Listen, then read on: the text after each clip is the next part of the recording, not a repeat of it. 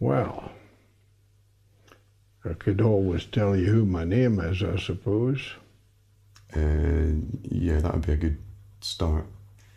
Well, I'm James Tweedie Fleming, but my father was always known as Jimmy.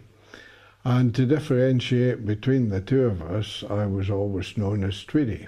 Dzień dobry, directed by Tweedie. The next film in this is directed by Tweedie by Duncan Cowles, a basically simple and quiet but also as humorous documentation. Can you uh, hold that up because it's. I need to balance the camera to the white.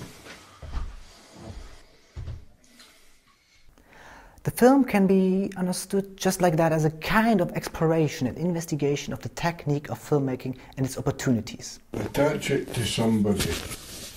Right there. The director Cowles teaches his 87 year old grandfather, the hero and protagonist of the film, some of the techniques of filmmaking. Cowles lets him experiment with equipment and lets him just try things out. Well, you can see. Oh, I see. But I can control it from here as well, so mm-hmm. I can turn it on and off using this.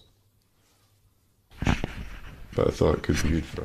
It's a small film which remains in the family, and so somehow at times this film reminds me of Martin Scorsese's 50 Minutes documentation Italian American, in which he portrayed his parents.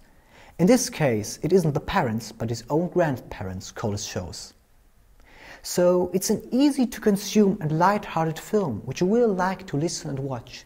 The 60 minutes literally fly past as quickly as it passes movie. The film seems so short because of its rigorous simplicity with which it presents itself to the audience. It is this which makes the film so sympathetic. That sounds feels quite secure. Oh yeah, that looks like it might work. We'll see. Yeah. What's she doing? If it doesn't work, we can try again next time.